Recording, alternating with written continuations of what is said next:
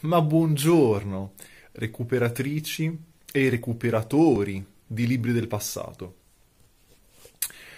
Oggi parliamo delle regole dell'attrazione di Ellis che abbiamo nella copia della Inaudi da consultazione e nella bellissima prima edizione italiana dell'editore Pironti che non è più da lettura ma è soltanto per, per rendere bene il pulviscolo, è a questo che serve.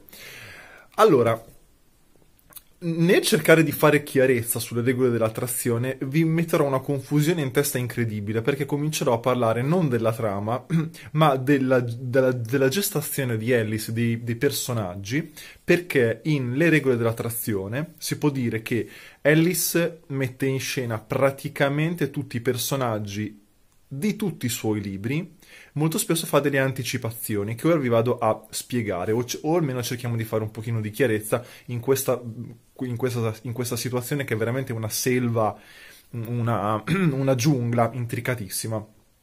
Allora, le regole dell'attrazione. Il protagonista, il protagonista è Sean, uh, Sean. Eh, anzi, anzi eh, sono, sono, tre voci narranti, tre voci narranti. Infatti la copertina dell'edizione Pironti, che riprendeva esattamente la copertina americana, metteva questi, mh, mm, queste tre zoomate su questi occhioni. In romagnolo Ucion, Ucion vuol dire occhioni.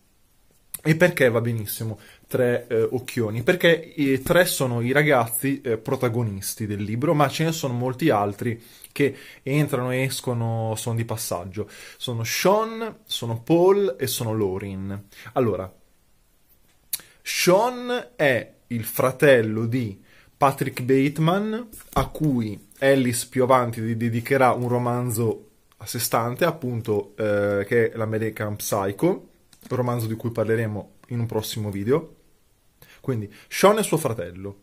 Poi c'è ad un certo punto, nelle, regole dell'attrazione, una, un'apparizione di Clay che era già stato protagonista del primo romanzo di Ellis, meno di zero. Poi una appunto delle tre protagoniste, Lorin, riapparirà in un prossimo libro di, di Ellis che è Glamorama e eh, appunto in, nelle regole dell'attrazione, è, eh, Lorin è eh, innamorata di un certo Victor che poi sarà to- protagonista assoluto di Glamorama.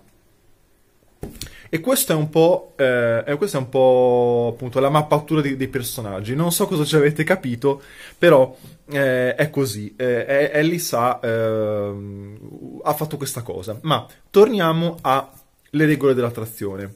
Allora, sapete quando io, non so se, se, mi seguite un po', conoscete quando io dico che è un libro eh, un, che, che, semplicemente narra la vita di qualcuno da un punto X a un punto Y?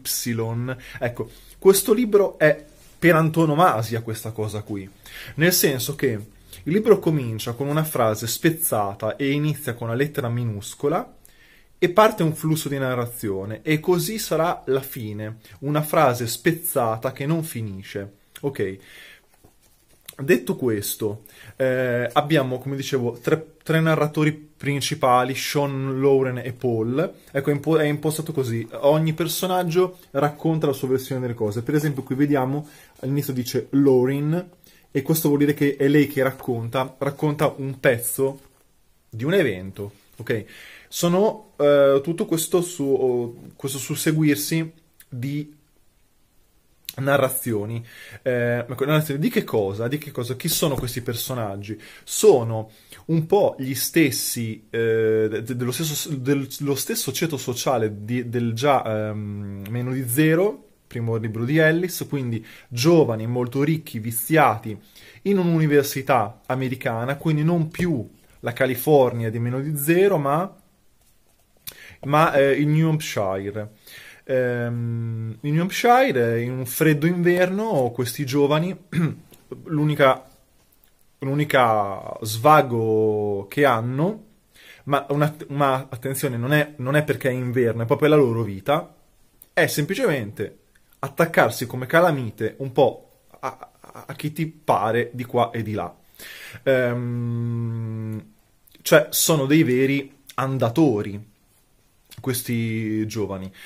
Ma ecco, secondo me la capacità di Ellis è quella di, è, è quella di alludere, alludere in que- questo modo di far vedere mh, la vacuità, no? uh, tutto questo sbronzarsi, tutto questo drogarsi, tutto questo uh, um, usare gli altri proprio come un passatempo, uh, tutto, quest- tutto questo senso di uno vale l'altro, ok? Secondo me Ellis è molto bravo a alludere a una paradossale disperazione che risiede in questi giovani, che per quanto hanno tutto, in realtà appa- sono molto molto sbandati. Vabbè, ok, eh, poi si diceva un po' i personaggi, c'è, ehm, c'è una voce molto interessante senza nome, una voce femminile, che è innamorata di Sean, che è il fratello di Patrick, che poi sarà il protagonista di questo American Psycho.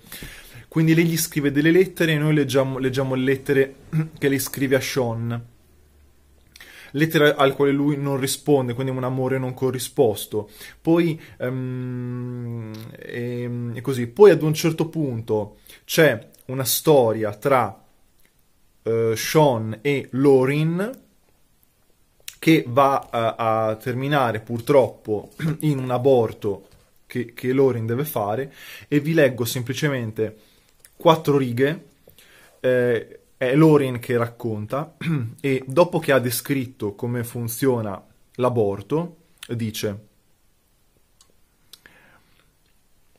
vado in sala, vado in sala rianimazione, non importa, passo avanti ad altre ragazze, alcune piangono, la maggior parte no. Esco per strada dopo che Sean è venuto a prendermi 45 minuti, un'ora più tardi.